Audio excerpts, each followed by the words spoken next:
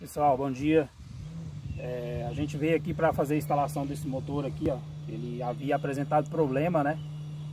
É, assim que a gente instalou ele, um, um motor novo, apresentou problema, a gente mandou para a fábrica, porém é, a fábrica retornou com ele, né? 30 dias para retornar, aproximadamente. Só que quando a gente fez a alimentação aqui, é, tava saindo umas umas fugas de corrente elétrica aqui, aí eu fui, desconectei o cabo aqui e identifiquei, vou medir para vocês verem aqui, ó. Vou medir com teste de continuidade. Para vocês verem aí, tá dando continuidade com as três, os três terminais do motor. Tá carcasseando com, com o motor.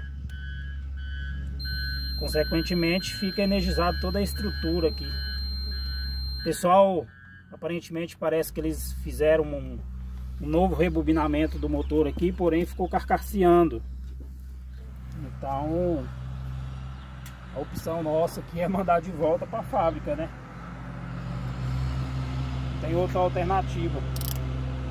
Então, até mais.